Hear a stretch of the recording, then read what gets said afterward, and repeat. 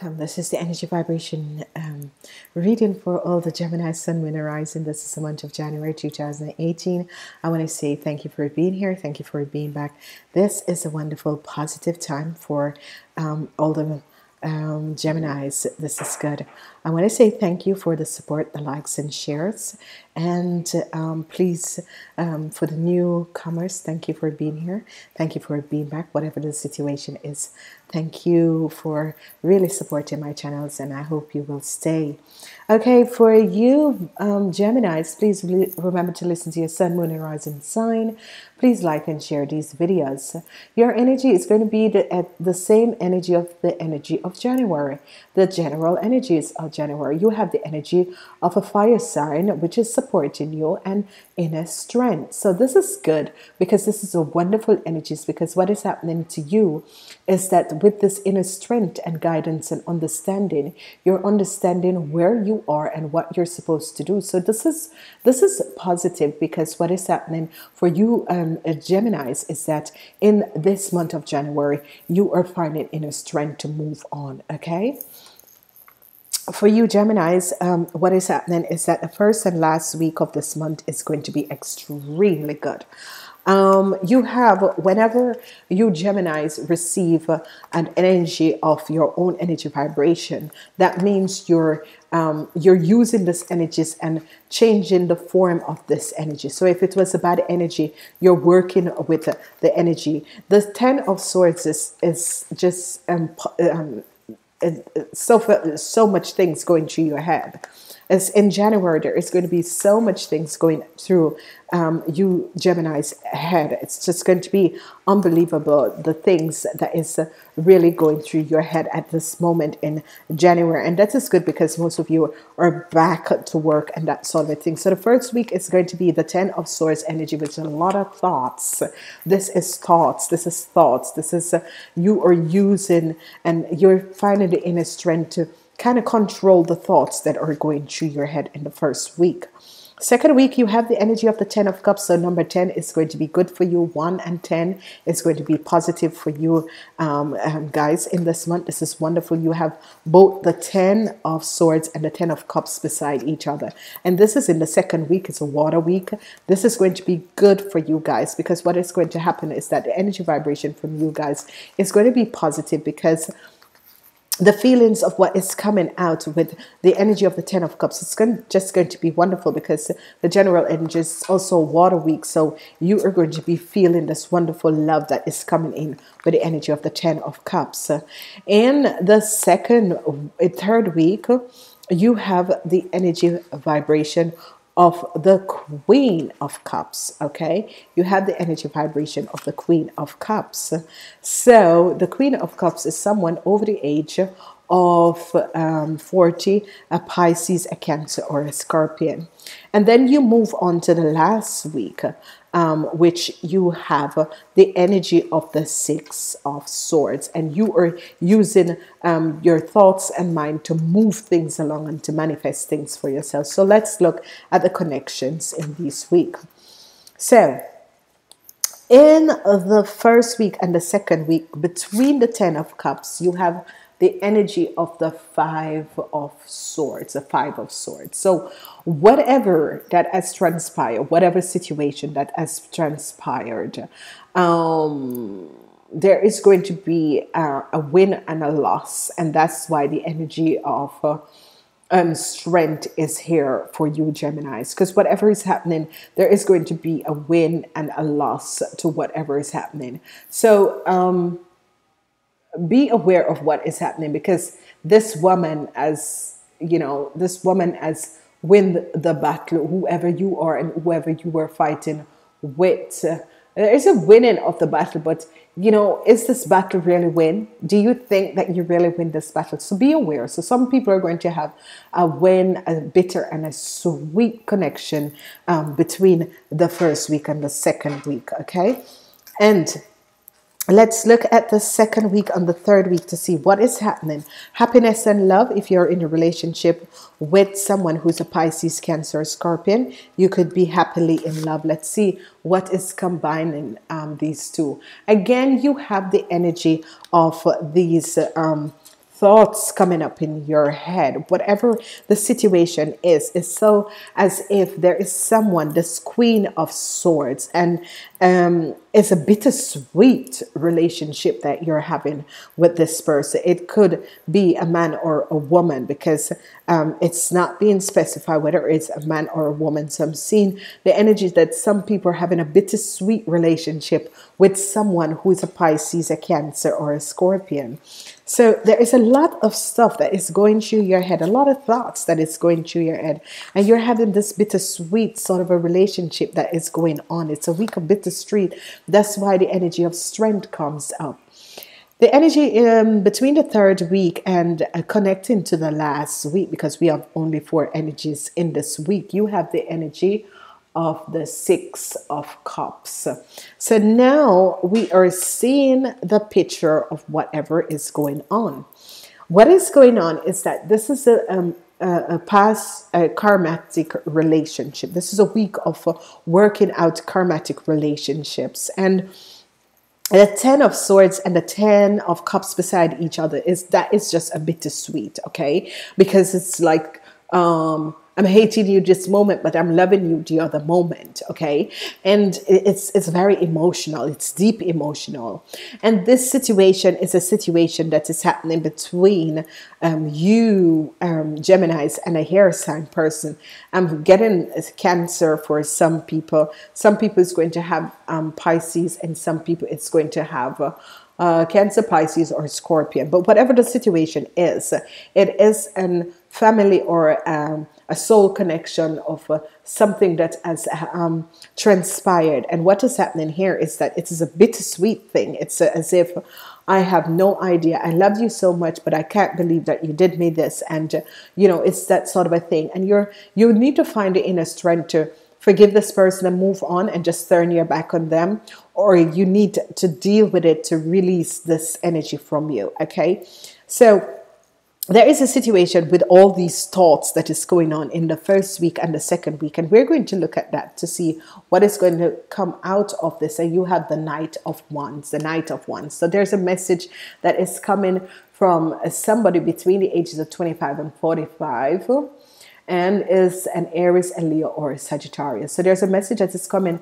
from someone between the ages of uh, 25 and 45, and there is a, a, situation that is happening that a message is going to be coming from this person. This message can be a message about um, a relationship that you are in. And this message is going to bring you some situation that really I wasn't expecting this, you know, because at the top of it, it is a, a happy the 10 the you know happiness in family but there's so many things because there were quarrels there were conflicts that was going on. And as we look at this queen of cups because there's a situation it was a it is a bittersweet situation. It's a situation that is a family situation or a karmatic situation. And you came in this lifetime to really deal with it. And this person this woman has still do the same thing. But you're going to win this. And you're going to win this big. Thank you. Wow I'm happy for you, Geminis. You're going to win this and you're going to win this. Okay, so. So, what is happening here is that there is a, a situation that you Geminis have, and this situation can be with someone who you're married to. And this lady came back in your life for a reason because it's a it's a karma situation because the energy of the six of cups is here. And you know, whatever has transpired and that sort of a thing, you're seeing what exactly took place. And let's see what is the energy for the Geminis in this month the Seven of Pentacles. So your outcomes of this month, you Geminis, is going to be the Seven of Pentacles. This is good because you're building and you're working on whatever the situation is.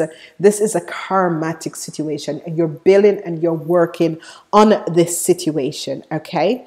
So here, let's look and let's take a, a real deep in depth look at your reading. It's a beautiful spread.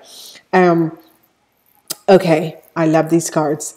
Um, the center of what is going to go on, okay? Um, the center um, that is going to affect a lot of people is a lot of thoughts going through your head. The Nine of Swords, a lot of thoughts a lot of things going in your head. They're coming at you, all these thoughts and things. So, you Gemini, that's why you have the energy of strength. You have the same energy as the general energies. You have the energies of strength. You have to kind of figure this out and you have to kind of understand what is going on because in the general energies of the week the two first week is water your first week is um the Ten of Swords is so much coming at you. And the second week is a very pleasant week, which is the Ten of Cups. But with the Ten of Cups, there is, going to be as bittersweet uh, happiness in um, a connection with a family connection, whatever it is. It's going to be a very bittersweet. Because what has transpired here, as I am going the, to do this, what has transpired here is that you have a bittersweet win some of you have a bittersweet win with other people, other signs, uh, whatever that has been transpiring. You, some of you have a bittersweet win. And here you can see that for the people who are connected to these water sign people, the Pisces, the Cancer, and the Scorpion, they want to move away from you or you want to move away from them because this was a karmatic situation. And this karmatic situation, you both came in to heal whatever has transpired in past lives. But is it still ill? It's ill for you. But is it still ill for the person? So whoever you are with that is a cancer, a scorpion of a, a, a um, of a Pisces, especially for the, the people who are in a relationship with um, the people um, above 40, because this is for people above 40. Um, you are going to realize that they are planning on moving away from you or you are planning on moving away from them. Whatever the situation is and whatever is happening whatever this move is all about is that this karmatic situation has ended and they're moving forward. What some people are having with some of these water sign people who they're having relationships with it could be a sister it could be a family it could be a sibling is that um, what is happening here is that with the energy here, with the energy that is happening with um, this person, it's a bittersweet situation that um, you know, there's so many thoughts. You're trying to figure out how am I supposed to do this? How, what should I do? How can I deal with this situation? How can I move forward from this situation? Okay, and it can that the person is not really a, um, a full water sign, but has water sign in their charts. Okay, because I'm seeing all of this coming up because remember that as from this year you're going to really realize that you're no longer the sign you were born under but you're going backwards okay so you're going back to the other side because I'm seeing this transforming in my life too. So, and whatever the conflict was, uh, there was a conflict, there was a situation. It has to do with uh, um, someone between the ages of 25 and 45. And this person is an Aries, a Leo, or a Sagittarius. And whatever the situation is, you're working on this situation, okay? You're, you, you're really working on this situation because um, it's a situation where that needs work, okay? And you're working on this situation. As we look and we're looking at the situation that is happening because there's two six together. So these two six, remember you have one, six, and 10. There are two sixes here together. And this these two sixes is the six of swords, the six, you know, but you're this is thoughts and you're thinking of moving on to better shore. And with the energy of the six of cups is moving on to better shore from this situation and you're going to win. You're going to believe in the situation and you're going to be using the ace of swords and coming out of this situation very good. Also for the people who are in relationship for with the um, the water sign people and you decide to leave the situation behind or they decide to leave, you are going to be trans, um, you're going to be happy because at least at the end of the day, it is that you worked on this. So um, you have the energy as um, as, as, strength and you you have the nine of swords which is a thought. So in in your head most of you are going to have a situation where a lot of thoughts is going on. But the outcomes of this month for you guys is the seven of pentacles which this is you have done something. You have done some work on yourself. You have uh, accept certain things and you are triumphant over certain things and this is going to be good. So i hope that uh, some people um, receive a message from that. We're moving on to the zodiac sign and we are going to see what is the energy here for the sun people. We are going to really see what is the energy here for the sun people, we have the energy of Scorpio, which is good. The Scorpions, I just spoke about the water sign people. And we have the Sagittarians for the sun people. For the moon people, let's see what we have for the Geminis. Um, we have Pluto. Pluto has been working with um, the air sign people, and we have the Aquarians. And something has been happening because um, you know, the Aquarians have been working with the Geminis because I saw that from the end of last year. So again, for the Sun people, people who were born um, between the hours of uh, 12 um, p.m. and 6 a uh, and 6 p.m. 12 a.m. and 6 p.m. and that is 12 a.m. in middle knight and 6 p.m. to 6 p.m. in the afternoon. What is happening is that you are going to be working with a scorpion. So that um, woman was a scorpion, um, or that person, uh, whether it was a man or a woman that this reading is set over, was a scorpion. And then you're going to have the Sagittarians, and the Sagittarians could be this night of wands who is coming in to help out of a situation. Okay so this is good. This is good. This is wonderful and this is positive. So let's go forward and um, look at the energies that we have for the moon people. For the moon people we have Pluto. We have Pluto for the moon people and we have the Aquarians coming in. And I love Pluto especially when it is vibrating with the moon energies because this is positive because whenever Pluto um, comes in with this moon energies I love um, seeing the energies of the moon working with these planets because um, they bring they bring um, wonderful energies. And I'm going to look at Pluto working with you Geminis to see what is coming in because this is um, extremely wonderful. Pluto working with the Geminis. Pluto is uh, working with the Geminis is swift vital transformation are happening now. Just very very fast uh, and vital information are um, are happening now. And this is going to be extremely good. So whatever is happening uh, is swift and it's you know things are going to be start happening for you. And this is going to be good. So this is going to be wonderful. So um, it's going to be a good um, a sense of you know things that are happening for a lot of people. And this is going to be positive in you know don't even matter what is happening it's just going to happen swift because you can realize that that relationship is is is, is ending and it is uh, um, good. So let's see i'm working with the wisdom of the oracle. This is the first month so i love the wisdom of the oracle for the geminis um, a fork in the road. There's a fork in the road. Whatever is the situation, there is a fork in the road. Okay, so let's see what is that fork in the road because here you can is a reading where yes you can see that there is a fork in the road. Okay, um, it is it is really really um, the energy of a fork in the road. So you know this is good. Let's see because um, whenever a fork in the road uh, comes up, it is always a thing. So it says, a time to make a decision, considering the consequences as you prepare to hack, owning up to your obligation uh, to make the unnecessary choice.